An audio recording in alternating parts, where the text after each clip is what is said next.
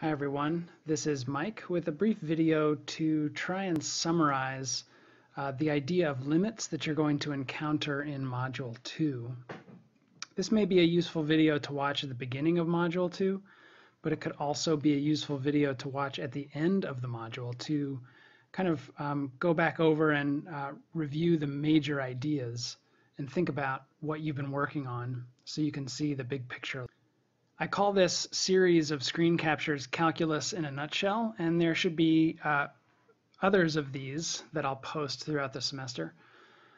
But this one in particular is focused on limits. So let's talk a little bit about uh, what you're likely to see there and uh, what I hope you will take with you as you go through the unit. So one thing to keep in mind is that calculus is about three primary topics. The first topic is, is limits and that's the focus of Module 2. One might argue that all of calculus is about limits, um, and that calculus is really about one idea, and, and this is it. but we're going to apply the idea of limits to two other ideas. One of them is derivatives, which is going to be the focus of modules 3 and 4, and integrals, which is the focus of modules 5 and 6. So limits really forms an important foundation of the course, and so really getting a, a firm grasp on the idea is important as you work through the entire course this semester. So just to dive in a little bit into more detail there. So limits kind of require you to think in two directions at once. You need to think horizontally and vertically um, when it comes to uh, thinking from the perspective of a graph. So in particular, what happens to a y value or in some cases, what happens to a slope, or in other cases, what happens to an area. Um, but for now, we're going to focus on y values. What happens to a y value as x gets closer and closer to some other particular value on a graph, say? So you want to be thinking about a point on a graph, a point on a curve of some kind, and the point is moving from left to right, say. And the question is, as, as the point is moving to a particular x value, what's happening to the y value? That's, that's the main idea with limits. One common mistake that students make about limits is confusing the idea of a limit with the idea of a particular function value. It's really important that you uh, distinguish between the two. Limits are not at all talking about what is happening at a particular value of x. Limits are only focused on what's happening close to that x value. So be really careful as you think about limits, although there are reasons why people tend to confuse those things. It's actually, it, it makes sense in some ways that people might confuse them. Uh, and, and if you're watching this at the beginning of the unit, maybe you'll see why uh, in the next few days or weeks. And if you're watching at the end, I hope you will consider why maybe those things uh, might be confused. But maybe the most important thing to remember about limits is that they are not related to what's happening at the particular x value, only what's happening close to that value. And then a third big idea that you should be ready to handle with limits is that you should be able to evaluate limits using a table, looking at a graph, or looking at an algebraic formula. So I want to take a minute and um, look at an example uh, of what I mean there, the three different approaches for finding limits. So uh, you could be looking at a table, at an equation, or a graph. And so let's talk a little bit about what that table might look like. So you might be given uh, one or even two tables that look a little bit like this. And you can see that these x values in the first table are getting closer and closer to the value 3 uh, as uh, from sorry from below. So these numbers are less than 3. And so x is getting closer and closer and closer to the value 3. The same is actually true of the table uh, below it. The, the, values again of x are getting closer and closer and closer to the value 3. Uh, but they're coming from above. All these values are greater than 3. But notice what's happening in both cases. So look what the y values are doing. This is about 5 and a quarter. This is a little bit larger. This is about 5.33. This is 5.333 and so on. You see these things are getting closer and closer to what looks like about 5.33. And if I get even closer, I can sort of do this uh, interactively, I can just type another 9 and you can see when I add another 9, I get closer and closer to the value 5.333.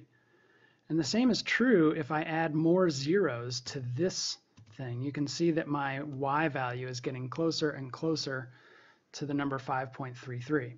So that would be what it might mean to think about uh, the limit as x approaches 3.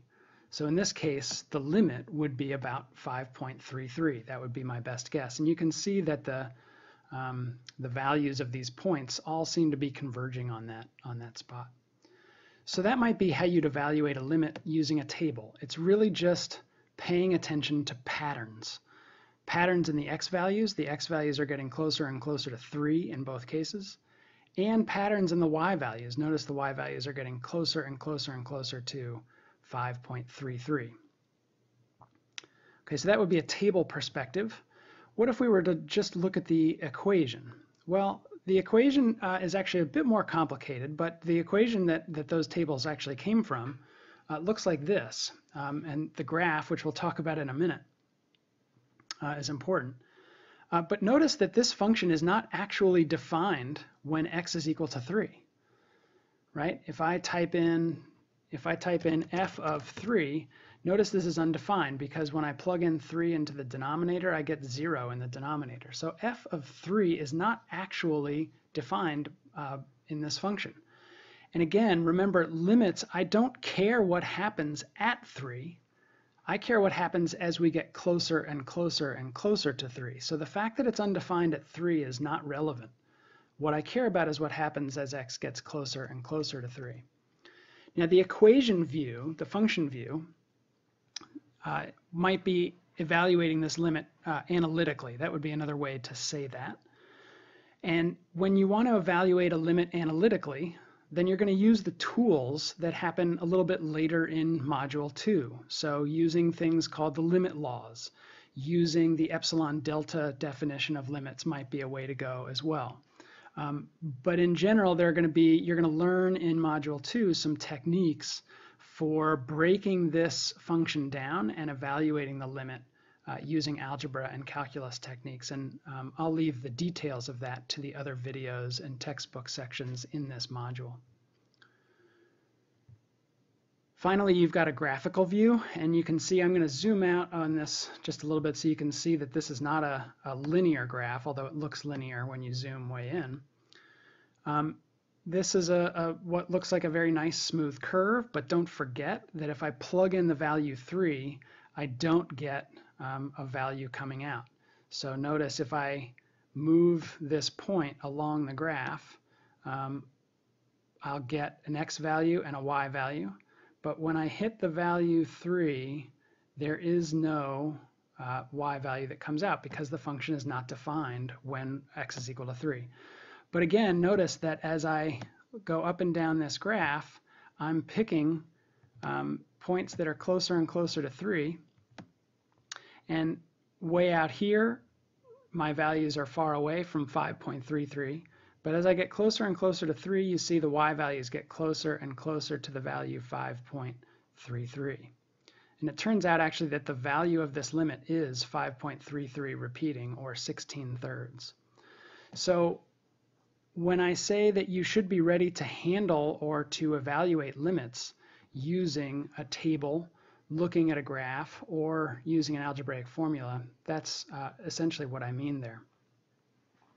Now just a brief overview of the limits module as a whole. So section 2.1 is actually kind of a preview of unit 3. So um, the very first introduction to limits is actually kind of a jump ahead toward unit 3 and, and looking at uh, what limits might mean in the context of slopes and rates of change. But then we go back a little bit to um, think about limits a little more basically. So Section 2.2 tries to establish a basic intuition about limits. Section 2.3 tries to put those intuitions on a bit firmer of a foundation using limit laws. One of the implications of limits has to do with continuity, and just a brief reminder, remember limits are not related to or not concerning themselves with the function value. But the idea of continuity is when those two things actually match, when the limit, uh, being close to a number, matches what the function actually is at that number.